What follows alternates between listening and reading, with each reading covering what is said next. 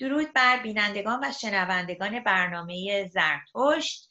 آرتیمیس اهورا هستم و این برنامه همونطور که می‌دونید کاری است از جنبش نوزایی ایرانی یا رنسانس ایرانی و از اون جایی که بیشتر شما تا کنون بیننده برنامه های پیشین بودید می‌دونید که این برنامه به هر آن چیزی می‌پردازه که به حوزه فرهنگ و تمدن ایران بزرگ مربوط میشه ایران شهر بزرگ و به مسائل تاریخی زبان فرهنگ و حتی تا مسائل امروزتر ایران ایران بزرگ و ایران کنونی در مرزهای سیاسی فعلی می‌پردازه.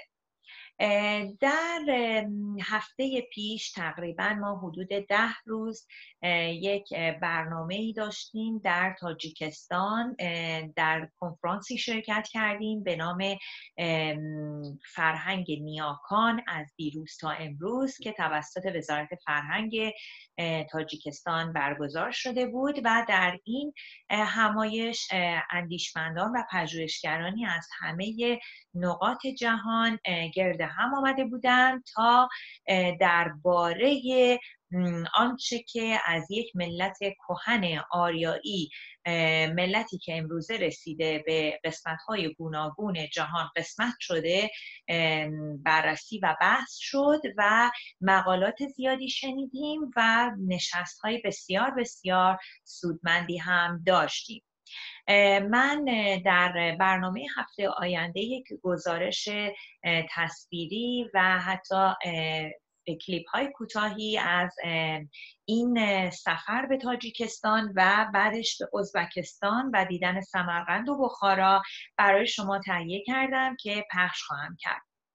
اما در برنامه امروز با جناب هومر آبرامیان از سیدنی استرالیا که حتما شما می‌شناسید استاد آبرامیان گرامی رو در این برنامه خواهیم بود. در این برنامه من از جناب آبرامیان که با ما در سفر تاجیکستان هم همراه بودن و من خیلی خوشحال شدم بعد از چند سالیشون رو دیدم از نزدیک یک مقدار می‌خوایم امروز درباره آموزشکده کوروش که آکادمی شد و اکنون به دانشگاه تبدیل شده با برای شما صحبت کنیم و اینکه اصلا چگونه همچین حرکتی راه افتاد و الان در کجای راه؟ از جناب آبرامیان می‌خوایم که برامون توضیح بدن. خوش آمدید آقای هومر آبرامیان و خواهش می‌کنم که خودتون آغاز کنید. از هر جایی که صلاح می‌دونید. با درود و آفرین به تو نازنین بانوی ایران زمین دختر بسیار زیبای من و با ارمغان بهترین درودهای سرودگونه به پیشگاه همه هممیهنان بسیار ارجمندی که همکنون از کران تا کران جهان به تماشای گفتگوی من و شما نشستند. با سپاس از خود تو نازنین دخترم که این زمان رو گذاشتی تا با هم در این زمینه گفتگو کنیم. درباره دانشگاه جهانی کوروش بزرگ از اینجا آغاز می کنم که نزدیک به ده سال پیش روزنامه کیهان با تیتر درشت خبر از مرگ دانشهای مردمی یا علوم انسانی داد که به فرمان اهریمن همه دانشهای مردمی مانند علوم سیاسی، جامعه شناسی، روانشناسی، مدیریت و جز اینها از دانشگاه های ایران برچیده شدند. پر پیدا بود که این در دنبالی همون ستیز ایران سوزانی حکومت ننگیندامن اسلامی بود که از همون آغاز با همه ارزش های فرهنگ ایران شهری ستیز آغاز کردند و گام به گام تا به امروز پیش رفتند و در همین یکی دو هفته گذشته هم باز شنیدیم و دیدیم که سروده های فردوسی، حافظ، سعدی، مولوی و دیگر بزرگان ایران رو از نبیک های آموزشی برداشتند و به جای اونها ساز شهید پروری دوباره کوک کردند در نامه های آموزشی ایران. از همون جا این اندیشه پدید آمد که ما می توانیم ما برون مرز نشینان با همازوری یکدیگر یک کانون توانمند دانش افشانی پدید بیاوریم که همانند یک ابر سیاه بارانزا بتواند باران دانش و بینش و منش نیک بر سر خرد و کلان ایرانی بباراند و اون جای توهی مانده رو پر کند.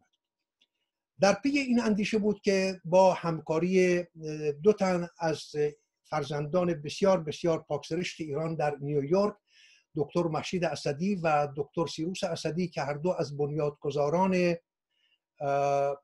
کاروان نوروزی نیویورک یا Persian Parade هستند این اندیشه به کردار درآمد و ما توانستیم بنیادی رو به نام دانشگاه جهانی کوروش بزرگ در نیویورک به ثبت برسانیم و همون سال سال 2012 در سیدنی هم به ثبت رسید. و کوشش بسیار به کار گرفته شد که این دانشگاه با ابزار رسانه های گروهی از تلویزیون تا رادیو موج کوتاه و با بکارگیری همه رسانه های مجازی بتوانیم با همکاری شمار بزرگی از استادان این کار رو انجام بدیم. ولی خب به پول کلانی نیاز داشت برنامه ریزی ها برای fundraising انجام گرفت ولی به خانه پیروزی نرسید. در میانه راه برخی از کسان شانه تهی کردند و این بار بر زمین افتاد و ما پیروز نشدیم. و برای اینکه مبادا ما رو سو کنند به دادگاه بکشانند برای اینکه چیزی رو به ثبت رسانده این نامی به ثبت رسیده است که در اون توهی است همون دانشگاه جهانی کروش بزرگ. ناگزیر اون رو از میان برداشتیم و این بار به نام فرهنگستان جهانی کروش بزرگ دوباره آگاشته کردیم در هر دو کلان شهر جهان نیویورک و سیدنی. و خب در این چند سال گذشته فراز و فرود بسیار و گذر از راهپندهای بسیار بسیار سخت گذر ولی سرانجام باز هم با همون دستان توهی و با کف صدپای برهنه که گذشتیم از خارزار رنج بسیار ولی با باور به این که یگان راه رهایی میهن تنها و تنها از راه فرهنگ خواهد بود و نه از راه سیاست. چرا که در چل سال گذشته نشان داده شد که همه کنش های سیاسی آب در هاون کوبیدن و در پی باد دویدن بود. یگان راه رهایی میهن از این دامچاله مرگ تنها و تنها بازگشت به فرهنگ ایران شهری بازگشت به اون ارزش های مردمی و بازگشت به اون والامندی ایرانی است. و از اونجایی که این ارزش ها به گونه بسیار زهراگین آمیخته شدند با آموزه های اسلامی هیچ راهی برای نجات و رهایی میهن نیست جز اینکه ما یک پالایشگاه بزرگ بسازیم این زهرابه های بدآموزی را از فرهنگ ایران جدا کنیم. مردم ایران بازگردند به خانه پدری به فرهنگ نیاکان به ارزش های فرهنگ ایران شهری. آنگاه این مردم به خودی خود خودشان راه به سوی رهایی پیدا خواهند کرد. دانشگاه جهانی کوروش بزرگ بیگمان یکی از کلانترین کانون است که با راه اندازی چنین قانونی که با همازوری شمار بسیار بزرگی از فرهیختگان و استادان در زمینه های گوناگون دانش خواهد بود و از راه رسانه های همگانی این باران دانش رو نه تنها بر سر همگان خواهد باراند بلکه زادمان جوان ایرانی رو نه تنها از ایران بلکه همه ایرانی تباران همه آریایی تباران همه پارسی زبانان رو که امروز شمارشون تا اونجا که من می‌دانم بیش از 120 میلیون تن هست در بر می‌گیرد.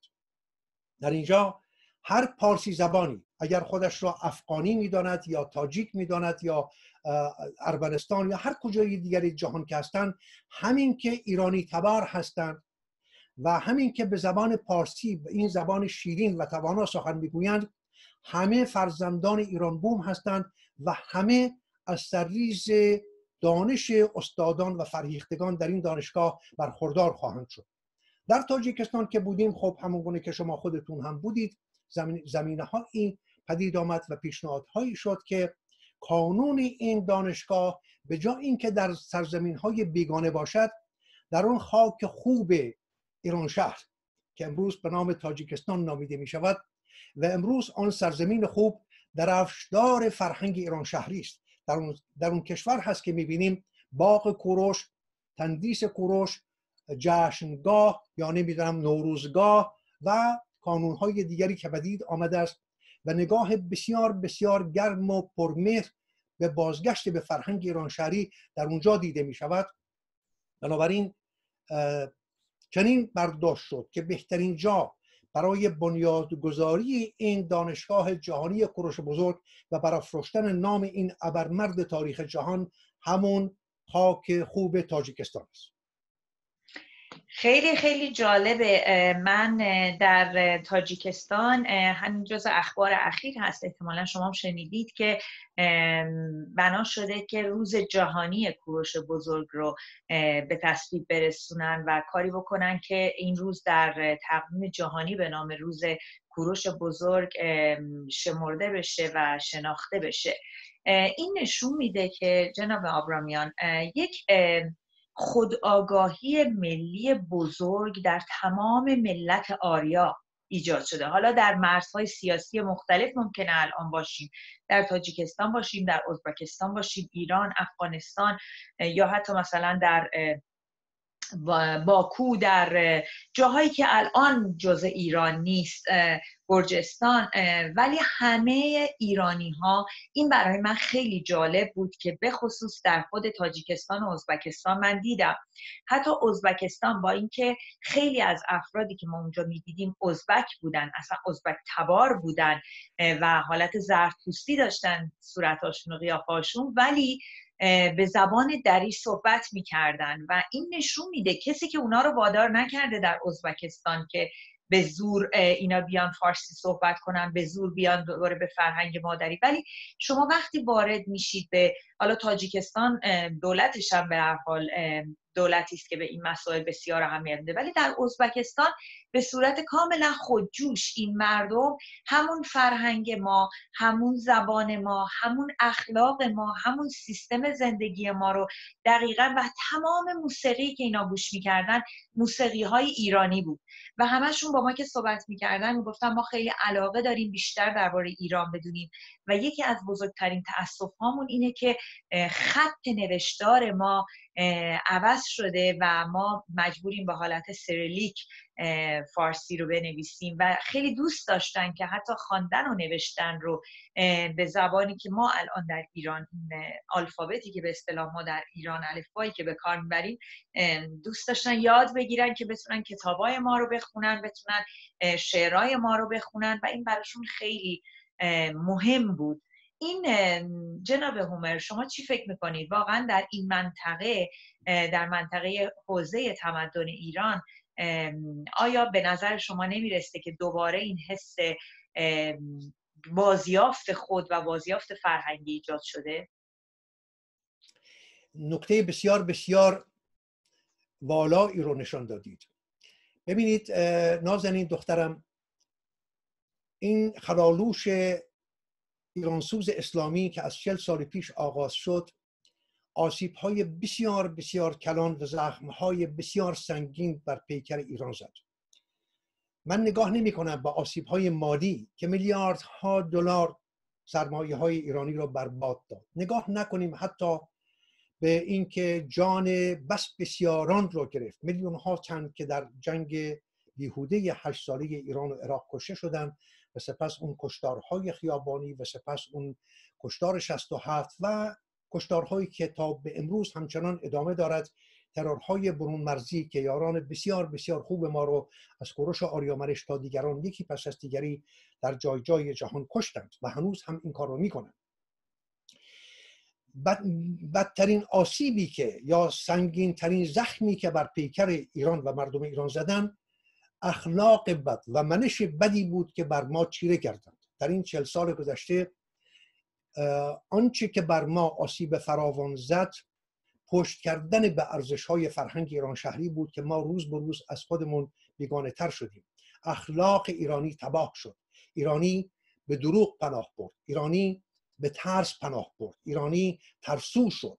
من اینها رو با دلیری می‌گویم دوستان اگر بر من خورده خواهند گرفت هیچ باکی نیست. ولی نمی شود زشتی ها رو نادیده گرفت. ولی در برابر همه این زشتکاری های اهریمن یک دستاورد بسیار بسیار خجسته داشت. یعنی تا آنجا خجسته که اگر روزی ما به ایران برگردیم و من کاری باشم در ایران پیشنهاد خواهم کرد که یک تندیس زرین از خمینی گجستک ساخته بشود و در میدانهای شهر برپا بشود و مردم او را بشناسند. چرا که خمینی با این خلالوش بزرگی که در ایران پدید آورد و مردمی که او را پیروی کردند با چیره شدن حکومت ننگین دامن اسلامی بر ایران یک برگ نوینی در تاریخ گشوده شد. مردم ایران از خواب 1400 ساله بیدار شدند. نه تنها مردم ایران بلکه کران تا کران جهان همه ملت ها ملت های پیرامون به ویژه در خاور میانه آگاه شدند که این ویروس بدخیم اسلامی است که ملتی رو به بزرگی ملت ایران تباه کرده است. این تباهی نه تنها ما مردم ایران رو تباه کرد لبنان رو تباه کرد عراق رو تباه کرد و سوریه رو تباه کرد و امروز می‌بینیم که جای جای جهان چه ویرانی های بزرگی که پذیرفتند از این ویروس اسلامی که از ایران از خواب برخواست از خواب بیدار شد از یک خواب دراز 500 600 ساله ای که آخوندها در رؤیاهای خودشون میپروراندند که روزی به حکومت برسن و سرانجام رسیدند و با دستان خونریز خودشون پرده از روی چهره زشت اسلام کنار زدند.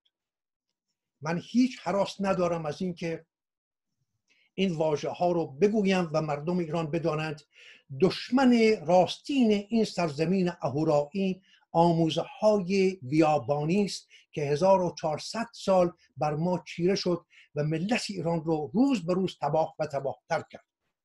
امروز اگر ما می‌خواهیم بازگردیم به ایران به کدام ایران می‌خواهیم بازگردیم؟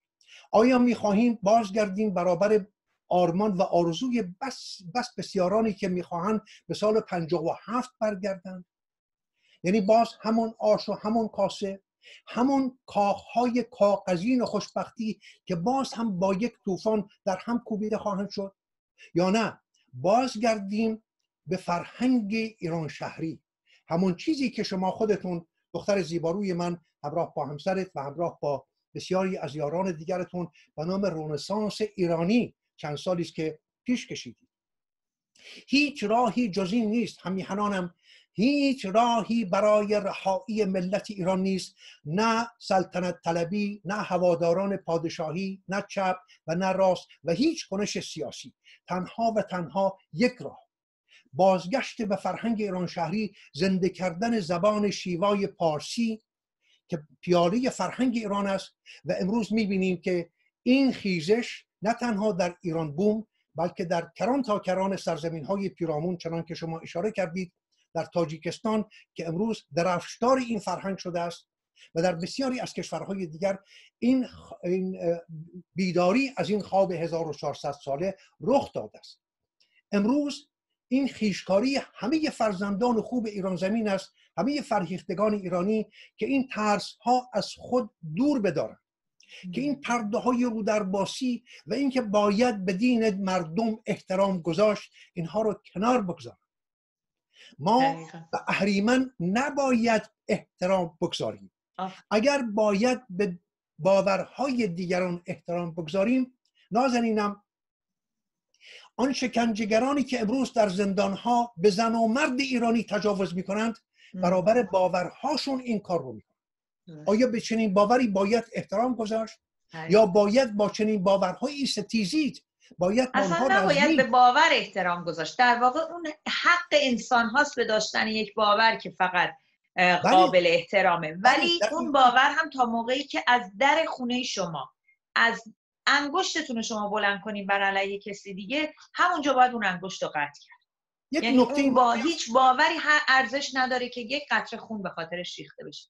آفرین. آفرین. یک نکته رو می‌خوام بیافزایم و این سخن رو چندین بار گفتم.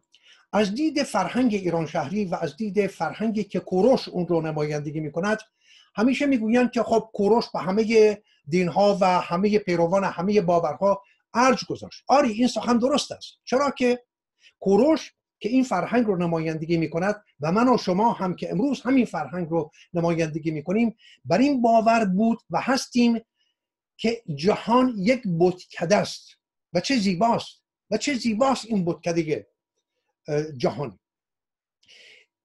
مسیحیت یک بت است یهودیت یک بت است کمونیسم یک بت است سوسیالیسم یک بت است ایدئالیسم یک بت است رنسانس یک بت است بیدینی یک بت دیگری است. همه اینها های بسیار زیبا و با شکوهند که در این بتکده در کنار هم چیده می شوند و جهان رو به زیبایی می آرایند ولی در این میان یک بت شکن هست که به میدان می آید همه بت ها را میشکند بت مسیحیت رو میشکند بت یهودیت رو میشکند بت ملیگرایی رو میشکند بت کمونیسم رو میشکند بت سوسیالیسم رو میشکند بت بیدینی رو میشکند بت رنسانس رو میشکند همه بت ها رو میشکند کوروش می‌گوید این بت شکن رو از بتکده بیرون بیاندازید تا بتکده دوباره همون بتکده پیشین باشد کار ما بیرون کردن بتکده هست از این بتکده زیبا.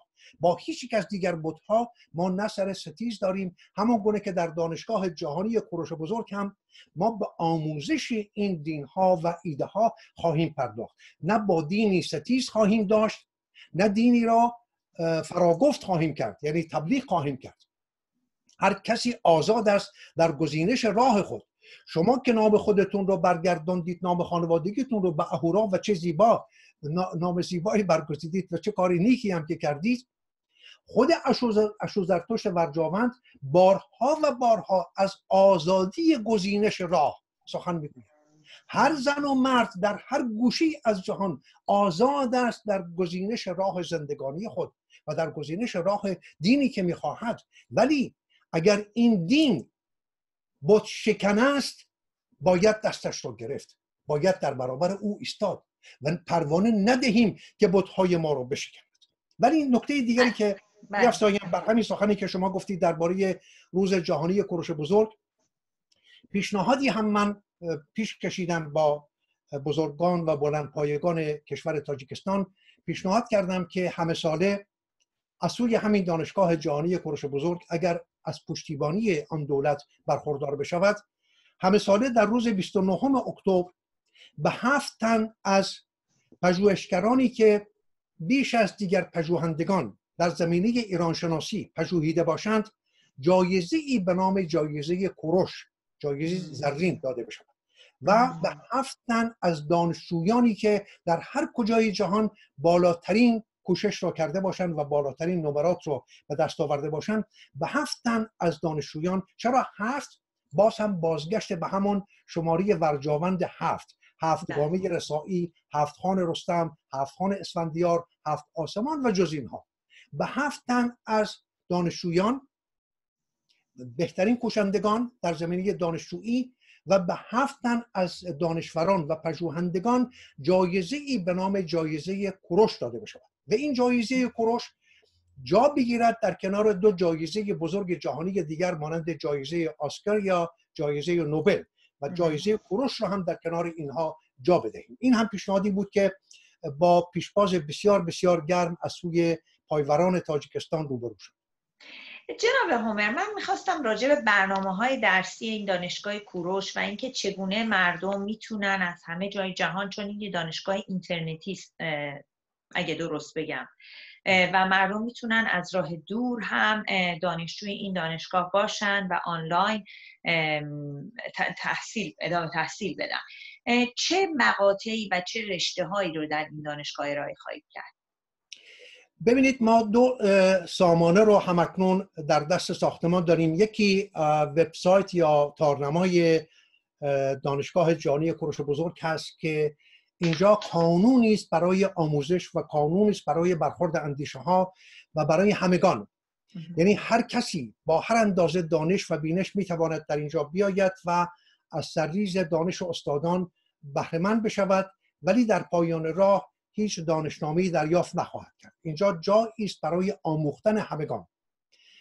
ولی کسانی که می‌خواهند در پایان راه دانشنامه با ارزشی دریافت کنند باید از راه برنامک یا از راه اپلیکیشن که روی همه سامانه های تلفنی هست هم برای سیستم های اندروید و هم برای اپل برای همه این برنامه نوشته شده است. همکنون دوستان می توانند این رو روی تلفن های خودشون اینستال کنند. برای کارگزاری این برنامه روی تلفن ها در بخش اپستور یا بخش دیگری که هست در سامانه های گوناگون به فارسی می توانید بنویسید دانشگاه کوروش یا به انگلیسی بنویسید سایرس Education. این برنامه رو روی تلفن خودتون, خودتون می‌گذارید. از راه این برنامه یا اپلیکیشن آموزش ها در اونجا آغاز می شود گروه بسیار فراوانی از استادان به این انجمن دانشبانان پیوستند همکنون. و خوشبختانه هر روز بر شمار استادان افزوده می شود استادانی که در زمینه های گوناگون به این دانشگاه می پیوندند و در انجمن دانشبانان در کنار استادان دیگر جا می گیرند آموزه ها از راه اپلیکیشن داده می شود ولی تا اونجایی که ما توانستیم تا امروز برنامه ریزی کنیم آغاز می کنیم با رشته ایرانشناسی در هفت شاخه و هفت دانشپایه. باز هم همون شماره ورجاوند هفت. این هفت شاخه از رشته ایرانشناسی شاهنامه شناسی هست دین شناسی هست.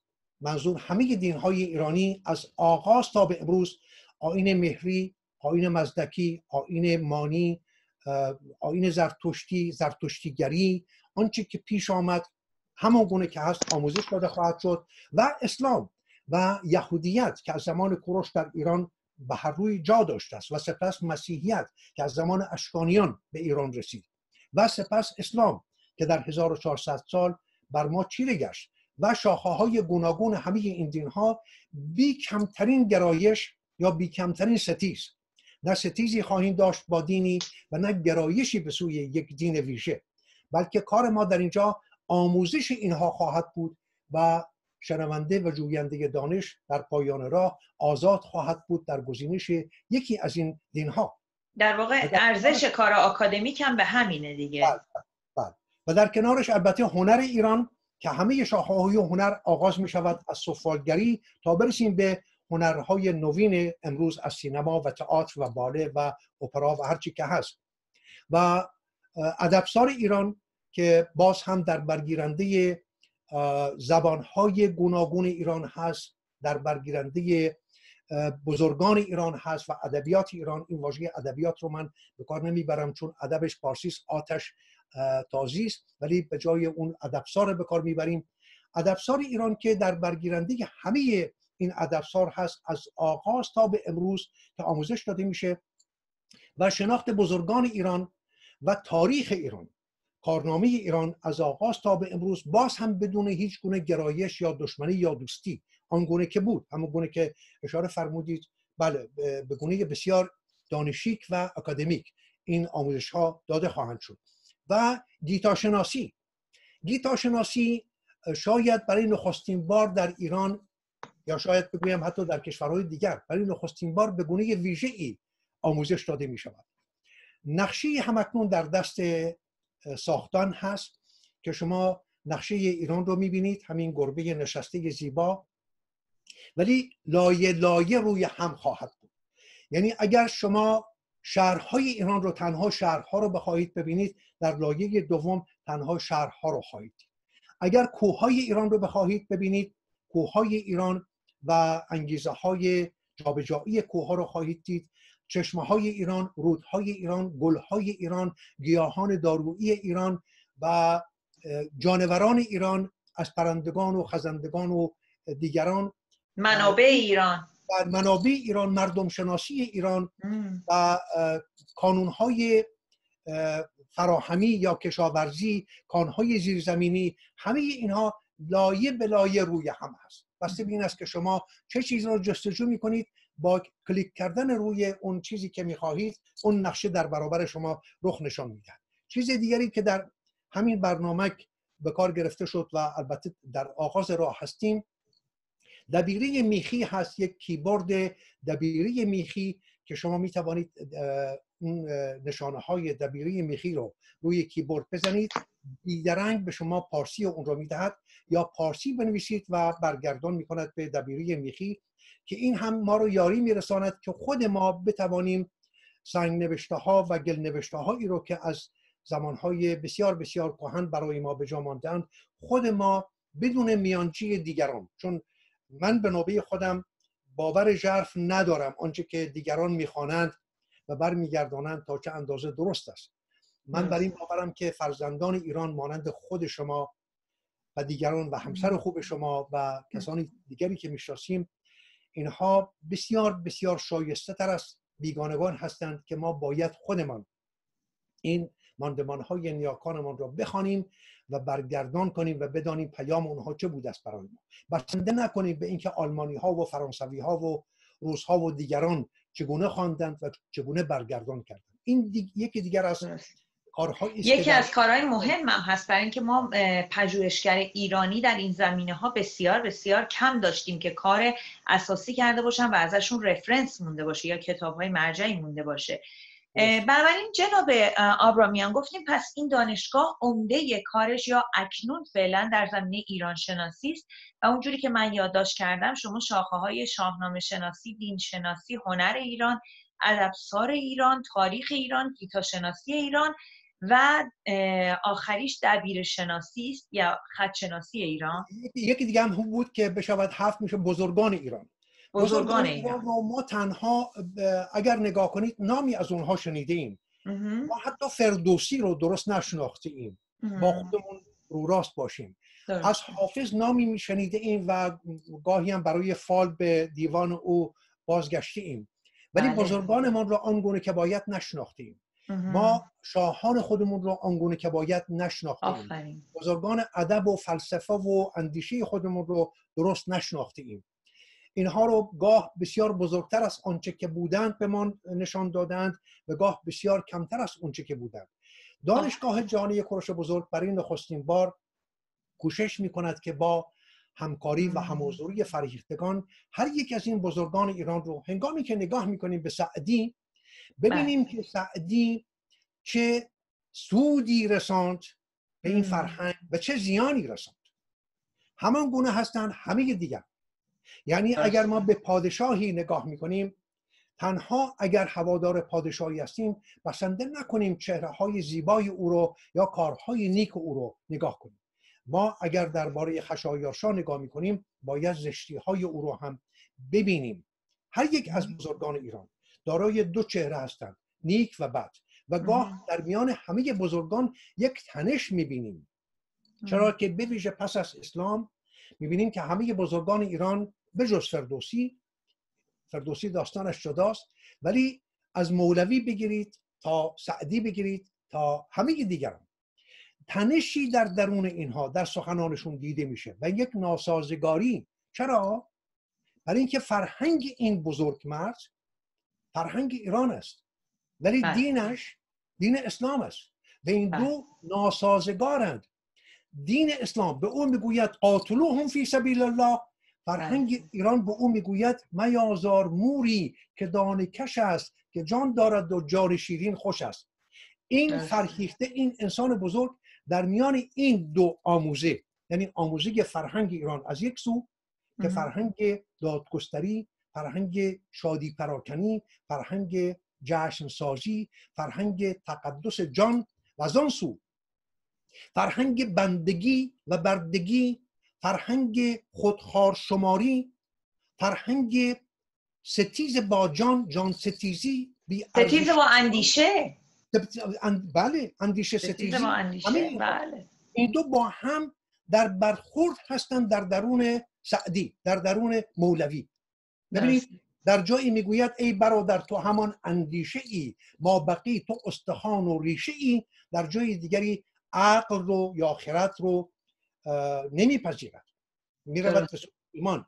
همینجا این تنش در میان همه بزرگان ایران دیده می شود ما اینها رو بررسی می کنیم در این دانشگاه. البته کار کار یک تن و دو تن و پنج تن و ده تن نیست بلکه یک شمار بزرگی از فریختگان نیاز دارد. و خوشا که بسیار بسیار شادمانم به آگاهی همیهنان برسانم که هر روز بر شمار استادان در انجمن دانشبانان افزوده می شود جناب آبرامیان چه مقاطع تحصیلی اینجا در این دانشگاه افراد می‌تونن چه مدرکی بگیرن به اصطلاح؟ چه مثلا می‌تونن کارشناسی بگیرن می‌تونن کارشناسی ارشد بگیرن می‌تونن دکترا بگیرن چه جوریه؟ ببینید ما این رو من در هفت رشته رو گفتم ولی هفت دانشپایه رو نگفتم. آه، باز آمدیم بر هفت دانشپایه. چرا هفت دانشپایه؟ باز هم نگاه دیگری است به همون بیخوبون فرهنگ ایران شهری است. این سخنی که من اکنون می‌خواهم بگویم بانو آرتمیس گرامی با یک گفتار به پایان نخواهد رسید. نیاز هست که من و شما و دیگر دوستان با شما بارها و بارها بنشینیم و این رو بشکافیم.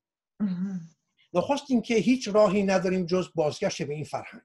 ما نمی‌خواهیم در دانشگاه کوروش پیروی کنیم از آنچه که در دانشگاه هاروارد یا دانشگاه سیدنی یا در دانشگاه مسکو یا دیگر دانشگاه های جهان اجرا می شود ما در این دانشگاه جهانی کوروش بزرگ راه نوینی برگزیدیم. این راه نوین اگرچه ما او رو نوین می‌گوییم ولی کهنه ترین و کهنترین راه آموزش هست همون هفتگامی رسایی در آین مهری. آین مهری دانشجو یا جوینده دانش میبایست هفت گامه رو گام به گام بالا می‌رفت که سپستر در شاهنامه این رو به نام هفت خان می‌شناسیم. پس از اسلام در عرفان ایرانی به نام هفت شهر عشق می‌شناسیم که باید این هفت شهر عشق رو گام به گام رفت و دید و سیر و سیاحت کرد و آموخت. ولی در آین مهری این هفت گامی رسایی از گامی کلاق آغاز می شود بله. شما می‌دانید که همه آین های کلیسایی برداشت بله. از آین مهری است این کلاق نخستین گامی آین رسایی همین جامعه است که امروز کشیشان در کلیسای کاتولیک یا کلیسای ارتودکس جامعه سیاه بتن می‌کنن این همون گامه کلاق است بله. کلاق نخستین گامی است که وارد می شود به این آموزشگاه یا در آین مهری در اون نیایشگاه های ویژه‌ای که بودند دانشجو یا جوینده دانش به اونجا می رسید و در خانه کلاق می نشست آموزش می‌دید در پایان راه می رسید به گامی کرکس. در پس از او گامی سوم سرباز. سرباز برای رزمیدن. ولی رزم با چه؟ نه رزم با دیگران. نه رزم با برون بلکه رزم با درون.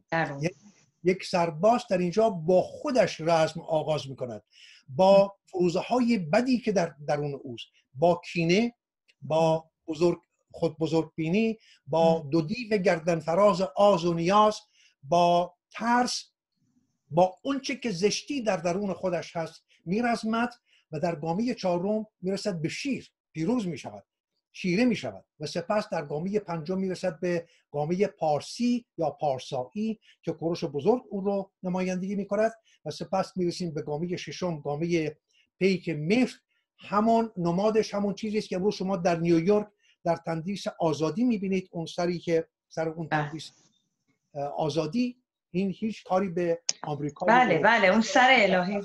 سر همون ایزد مهر هست.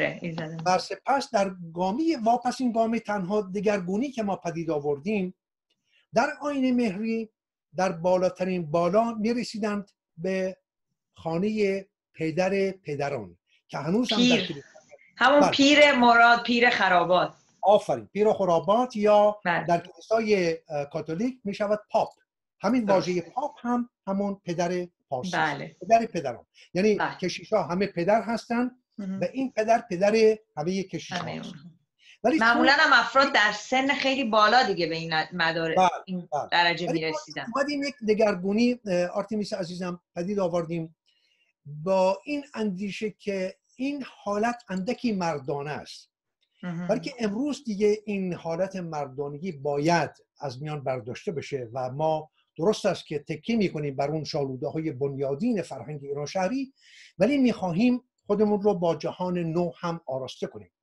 به جای پدر پدران ما سیمرغ رو گذاشتیم. یا سه زن خدا. این سه زن خدا سیمرغ زن خدای خرد ایرانی که همون خرد اهورایی است. و فرتوری که اگر نگاه کنید لوگوی ما هست. ایزد رام برهنه از زهدان ایزد سیمرغ زاده می شود و دو گل نیروفر آبی که نماد ایزدبانو اردویسار آنهیتا هستند. سه زن خدا در بالاترین گامه. بنابراین جوینده دانش یا دانشجو از گامه کلاق می آغازد و به سیمرغ می رسد هنگامی که به سیمرغ رسید اون خود من که یکی از بنیادگذاران این دانشگاه هستم و در کنار برخی از آموزگاران جا خواهم داشت ولی من در کلاق در کلاس یا دانشپایی کلاق خواهم نشست. چون خودم می‌خواهم بیاموزم. و استادان دیگری که هستند به من آموزش خواهند داد. هنگامی که به پایان این چرخه رسیدم در اونجا دانشنامی در اندازه دیپلم از دیدگاه هم ارزشی به من داده خواهد شد. یعنی دیپلوما. بله. از اونجا من راه پیدا می‌کنم به گامه بالاتر دیگری. هست همین گونه تا برسم به گامه سیمور هنگامی که اگر زندگی برای من برجا باشد و من برسم به گامه سیمور من فوق دکترا خواهم کرد. در رشته که درس خوندم. به این دانشنامه دارای استوارنامه های معتبر خواهد بود. نه تنها از تاجیکستان بلکه کوشش خواهیم کرد که از دانشگاه های دیگر جهان هم بتوانیم این پشتیبانی رو داشته باشیم. چقدر جالب. ولی این بسنده نیست همون گونه که گفتم آرتمیس بله بله. باید بیشتر از اینها در این بله. ما جناب هومر ما در یک برنامه دیگه باز درباره دانش، دانشگاه جهانی کوروش با هم گفتگو خواهیم کرد. در پایان برنامه امروز ما یک قسمتی از صحبت شما رو در همایش فرهنگ نیاکان از دیروز تا امروز که با حضور رئیس جمهور تاجیکستان هم انجام شد جناب آقای محمدی رحمان. ما اینو برای پایان برنامه پخش خواهیم کرد و در برنامه آینده ادامه این جستار رو حتما خواهیم داشت. خیلی ازتون سپاسگزارم جناب آبرامیان و همچنین از تمام کسانی که بیننده این برنامه هستند و کسانی که این برنامه رو ساپورت می‌کنن. سپاسگزارم و تا برنامه آینده خدا من هم از شما سپاسگزاری می‌کنم. روی ماهتون رو پدرانه میبوسم و سپاسگزاری می‌کنم از زمانی که برای این برنامه گذاشتید. سپاسگزارم. خدا نگهدار. خدا نگهدار.